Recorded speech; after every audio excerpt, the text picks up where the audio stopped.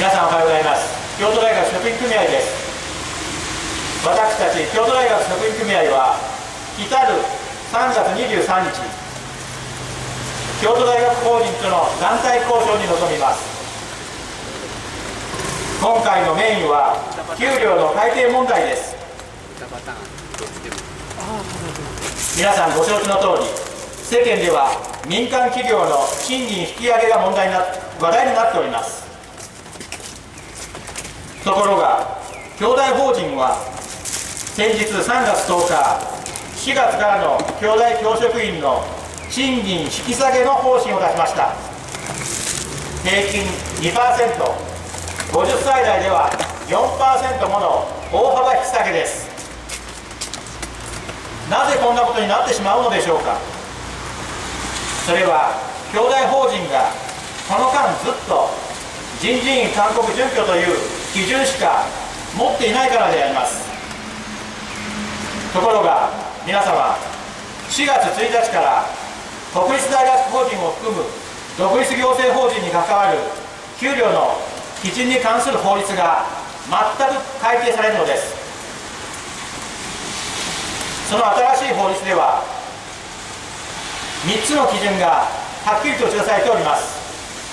まず第一に国家公務員の動向それから競合する民間企業の給料の動向それから当該法人の業績。その3つを考慮して国立大学法人の給料の基準を決めなければならない。という法律に変わったのです。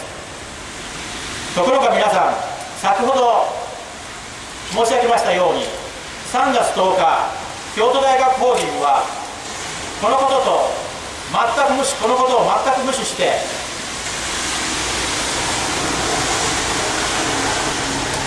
平均2%そして50歳代では4%もの大幅の賃金引き下げを出しました。これは単純に兄弟法人特に総務部の職務怠慢以外の何者でもありません。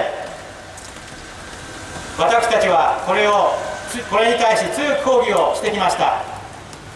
そして来週月曜日3月23日私たちは京都大学法人との団体交渉に臨みます。この団体交渉では京都大学の給与の改定に関し新しい法律に従った新しい対応を必ず約束させたいと思っております。